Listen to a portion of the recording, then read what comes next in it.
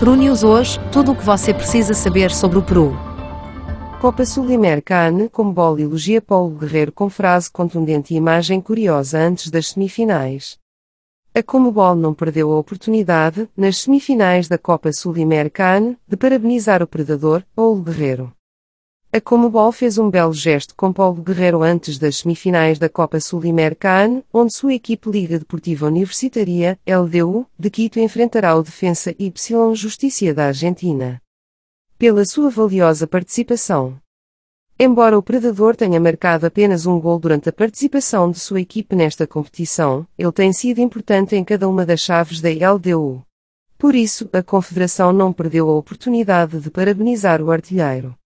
Através de suas redes sociais, a entidade máxima do futebol sul-americano compartilhou uma frase poderosa para definir o capitão da seleção peruana de futebol.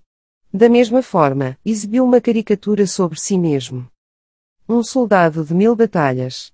Paulo Guerreiro e a Liga de Quito caminham para uma nova final na Comebol Sul-Americana, compartilhou o relato oficial da Copa Sul-Americana sobre o artilheiro peruano. Ele deu contra a defesa e justiça. A seleção equatoriana enfrenta o Defensa Y Justiça na próxima quarta-feira, no estádio Rodrigo Paz Delgado, na cidade de Quito.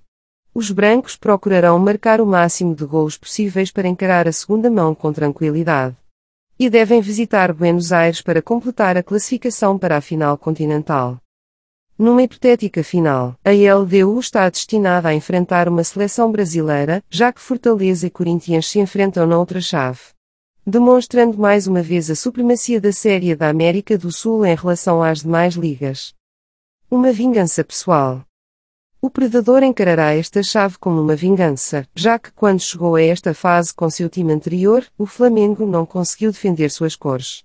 Isso porque a FIFA o puniu com seis meses de inatividade por testar positivo para doping.